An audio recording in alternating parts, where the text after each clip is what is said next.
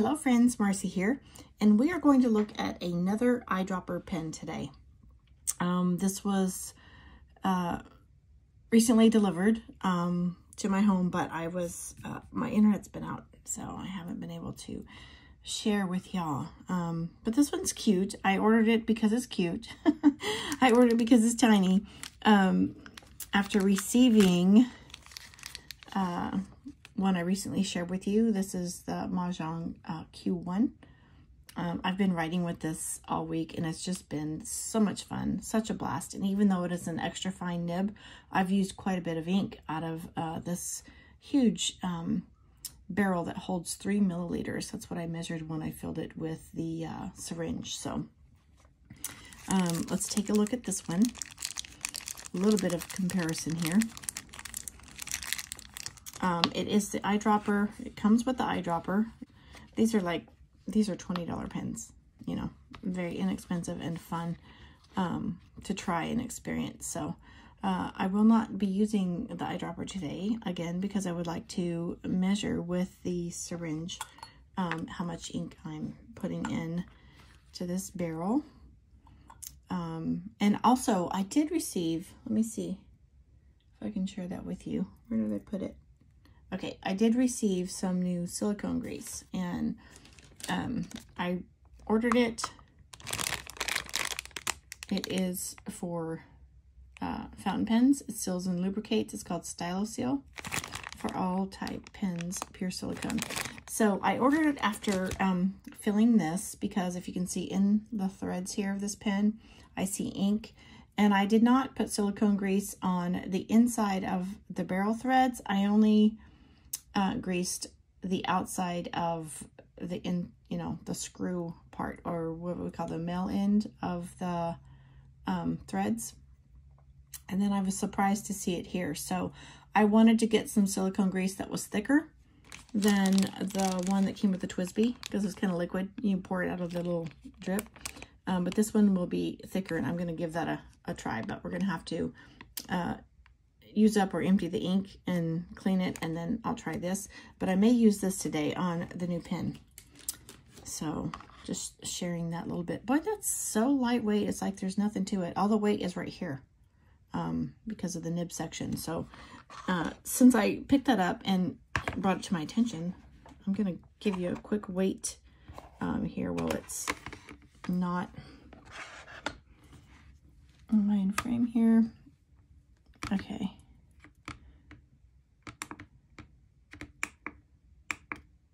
Got to get back to zero. I don't know what I touched. All right, we are on grams, and this does not have a clip, so I don't want it to roll. Got to get it stable. 11 and a half grams. Wow. Okay, and just the cap. Almost four. so if we do the math, I don't want this to roll around. If we do the, the math, will be about seven for the pen, um, little mini pen. So cute. And the name of this pen, even though in the box it does say Majohn, which is the same brand as the Q1, um, when I ordered it, it had the name Wancai, W-A-N-C-A-I. I'll put that spelling on the screen. And it is a mini pen um, with a fine nib. And the other differences are this one was an extra fine. Actually, I see, visibly see another difference um, as I hold them together. This is a huge nib. And this one looks like a tiny little five. So I'll have to find out what that measures, but this looks like the little nibs on uh, the Kaweco Sport, actually. So Big difference in the nib size here. All right. Now this has no like external decoration. Um, you can see that it's just acrylic on the cap, just acrylic here on the barrel. And the only thing that's not acrylic here in my hand with the nib is the nib feed and the nib. So no clips, no bands, no rings, all very, very basic. And I'm noticing here I didn't know this, but I'm noticing some threads, so I'm assuming, yep, there you go. So if you'd like to post and make it a uh, substantial or a comfortable size uh, rider in your hand, that looks perfect. It reminds me of the Kaweco Sport, which, let me see if I can grab quickly.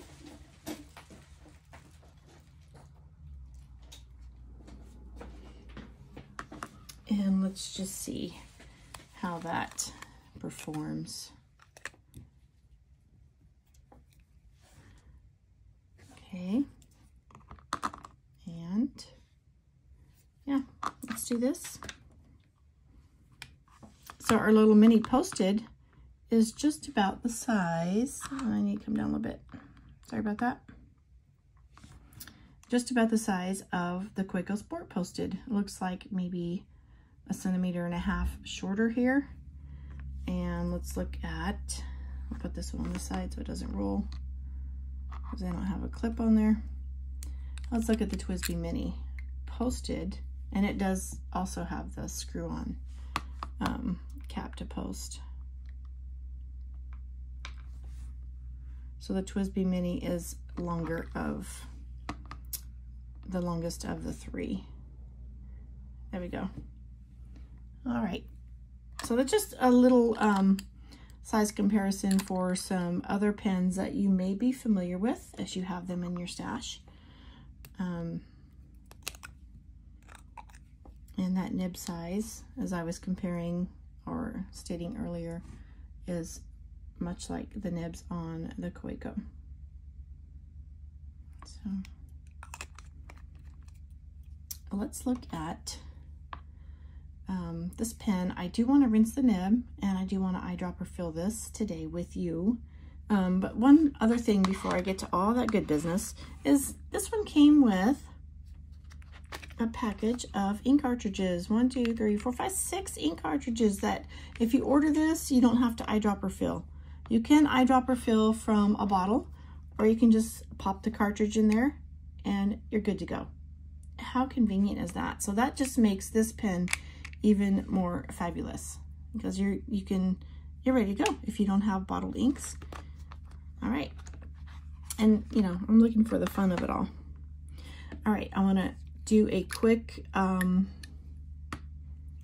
nib flush with you as I'm trying to make myself uh, better at that in remembering because we've seen uh, how beneficial it has been for us to or for me to actually rinse a nib and clean out any factory residue from testing. So I don't know if you're in frame, how we go. Yeah, so we're pushing water through, it's coming out clear. And what I've discovered in flushing um, the nib, it's the material in the nib feed is no longer dry. So you have like a head start um, I lost my napkin. Um, let's use my towel. You have like a head start on um, absorbing ink into the nib, nib feed when you do fill it, and it doesn't take so long to draw down. So that's my experience anyway. All right, let's get, this is the ink I decided on today. Um, I almost put a blue in here, either a, a turquoise like uh, Konpeki or one of the Noodler's colors, but I have not used my Parfum Rose from Herbin. It is a scented ink, and I want to give it a shot.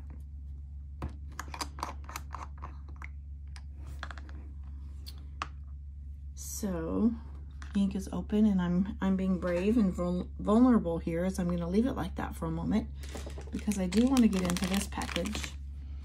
Um, and as an extra precaution, I do want to put some silicone grease on this. Even though, I don't know if you can see it, if I can point with the scissors, there is a clear silicone ring right here that goes around that for extra um, protection, uh, for your leak protection, but I'm going to add extra protection, let's say it like that. All right. So this is a lot thicker. It's a gel. Um, if you were with me when I put the silicone on from the TWSBI, it, it was liquid form and I just dripped it on right out of um, the bottle. So I'm just going to put it back here on these threads as an extra precaution. You do not have to do this um, on this model. You do have to put silicone grease on the threads of other pens that you choose to make into an eyedropper pen. Now you can um, do that with other pen models. Like I'll show you. Um, you may do it with a Kaweco Sport because all the parts are plastic. Um, but you could not do it with the, like this is a metal uh. You could not do it with this because it doesn't, you can't eyedropper a metal pen with metal components, only the plastic. So FYI, if you ever decide to do that. All right, there we go.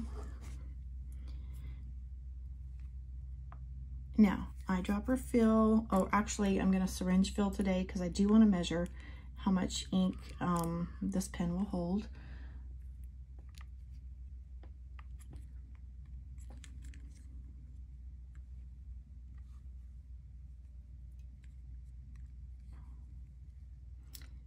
Start with uh, just drawing up two milliliters into the syringe and start there.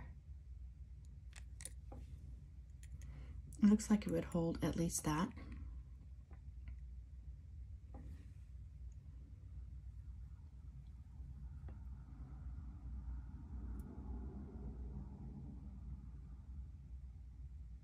Yes, with a little to spare. Two milliliters did not quite fill that up. But we're going to add the nib section. And you can see where I've threaded, uh, I've placed the silicone grease on those threads, how it's meeting that up. And that's just an extra seal precaution level there. And if there's any, okay, yeah, I put, if, if there's any residue, we're going to push it out. And that's just what happened. So I'm to wipe that off.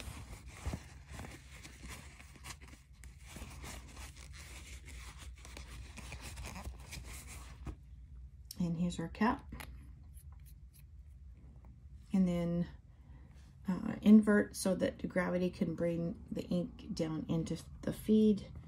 I'll do, wait for a moment while I take extra precautions to cover up any potential hazards. Yep, don't want those. All right, and I did order this on Amazon. I'll try to find the link and post it in case you're curious. I think it was like $13.95, and that's quite a large container. Um, it does not have the amount. Okay.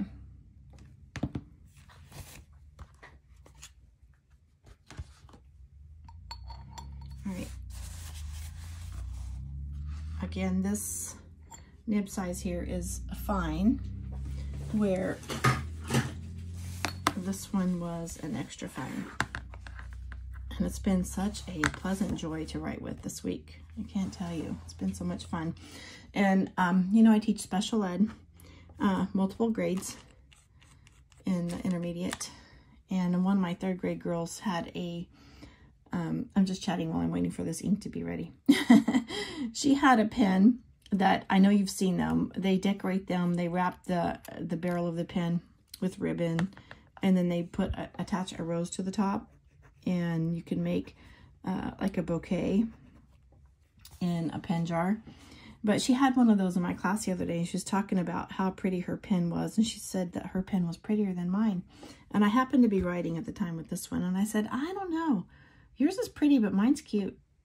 so we had this debate and kind of a impromptu lesson on details and descriptions. So there you go. Uh, fountain pens can help kids learn. That's my take on it anyway. All right, so this was called a Wancai. And it was by Majohn. I did order it from Amazon. This is a fine nib.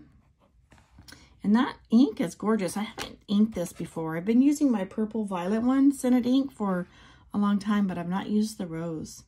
And I think February is a perfect month to use this. So great choice, Marcy. All right, this is Herbin. Oh, you know, here I'm writing away. And, you know, I was totally comfortable. I wasn't even cramped or whatever.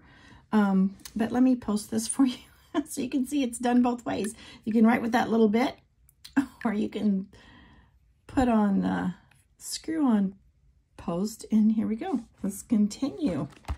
Um, Parfum Rose. See how it extends over what I needed? So I didn't even notice. This is a scented ink. And I, I've really enjoyed um, the other scented ink. So we have, what else do we want? Oh, let's talk about our ink flow. It came down quickly. As you know, this is kind of wet and um, diluted a little uh, on this mark here because my nib was wet. Um, but as you can see, I'm writing and the ink is coming down in a comfortable flow, meeting the needs. So the horizontal line, I can tell here, if I'm in frame, is a little bit uh, less wet and thinner. When I did the, the vertical pull down stroke, it's still wet and it's just a little bit thicker. So a little bit of um, variation here in this nib. I'm not sure who makes this nib. I'll have to check and see if I can post it on the screen. Um, but yeah. So it can uh, put down some wet ink as we're seeing here in this puddle. And I'm going to just finish up with writing the date. It's helping me if I record the date when I'm inking these pens and what ink I'm using because I have to add it to my, oh, I don't need a comma there. Going too fast. So I have to add it to my um, journal. Yeah, I'm loving this ink. It's nice. Parfum Rose Herbin. And our Wancai Mini pen in fine. So I hope you enjoy um, enjoyed everything I've shared with you here today. And if you like to have fun writing, just get yourself a little inexpensive pocket pen. Thank you for spending some of your precious moments with me. You have a blessed day. Bye-bye.